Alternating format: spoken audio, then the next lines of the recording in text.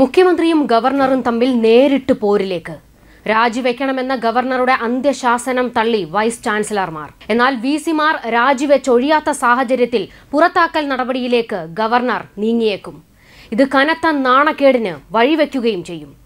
സർക്കാരും രാജ്ഭവനും തമ്മിൽ പോർമുന കടുപ്പിച്ചു നിൽക്കുന്ന സാഹചര്യത്തിൽ മുഖ്യമന്ത്രി പരസ്യമായി ഗവർണറെ വിമർശിച്ച് രംഗത്ത്.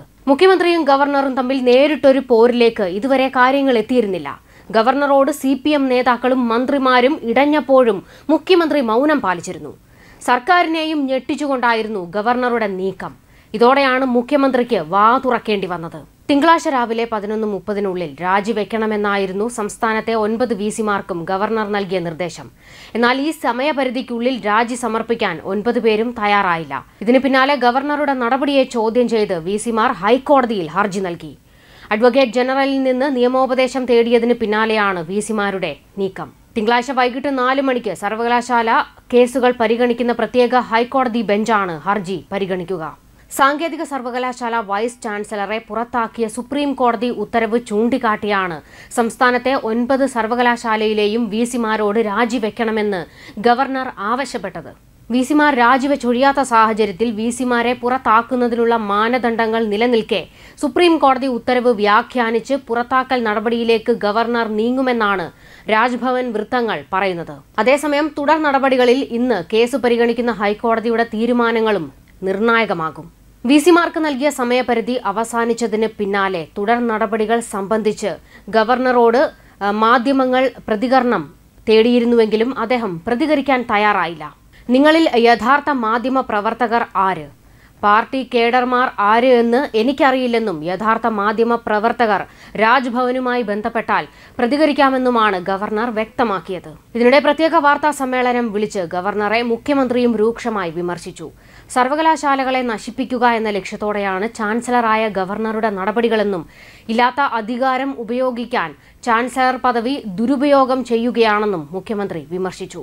സംസ്ഥാന സർക്കാരിനെ സാധാരണഗതിയിൽ എന്റെ സർക്കാർ എന്നാണ് നയപ്രഖ്യാപനത്തിലും മറ്റും ഗവർണർ അഭിസംബോധന ചെയ്യാറുള്ളത്. അങ്ങനെയുള്ള തന്റെ സർക്കാരിനെ അവസരം കിട്ടുന്ന എല്ലാ ഘട്ടത്തിലും ഇകഴ്ത്തിക്കാട്ടാൻ അദ്ദേഹം എന്താണ് അമിതമായ താൽപര്യം കാണിക്കുന്നത്? സർക്കാരിലെ മന്ത്രിമാരെ അധിക്ഷേപിക്കുന്നത് എന്തടിസ്ഥാനത്തിലാണ് ഇതെല്ലാം ആരെ മുന്നിൽ കണ്ടുകൊണ്ടാണെന്ന വസ്തുത കേരളത്തിലെ പൊതുസമൂഹം തിരിച്ചറിയുന്നുണ്ടെന്ന് അദ്ദേഹം മനസ്സിലാക്കണം. അതിന്റെ ഈർഷ്യ മാധ്യമങ്ങളോടടക്കം എല്ലാവരോടും അദ്ദേഹം അടിക്കടി കാണിക്കുന്നുമുണ്ട്. താൻ ചാൻസലറായിട്ടുള്ള ഉന്നതമായ ഗ്രേഡുകൾ ലഭിച്ച സർവകലാശാലകൾ നിലവാരമില്ലാത്തതാണെന്ന് പറയുന്ന ചാൻസലർ ചാൻസലർ എന്ന പദവിക്ക് യോജിച്ച ആളാണോ.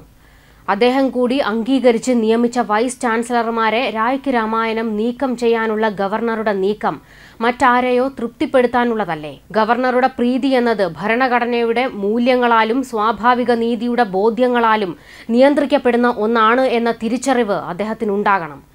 അതിന് പകരം ചില രാഷ്ട്രീയ പാർട്ടികളുടെ താൽപര്യപ്രകാരം പ്രവർത്തിക്കുന്നു. ഇതായിരുന്നു മുഖ്യമന്ത്രിയുടെ വിമർശനം. എന്നാൽ വി സിമാർ രാജിവെക്കണമെന്നത് ഗവർണർ അന്ത്യശാസനം നൽകുന്നത് തന്നെയായിരുന്നു.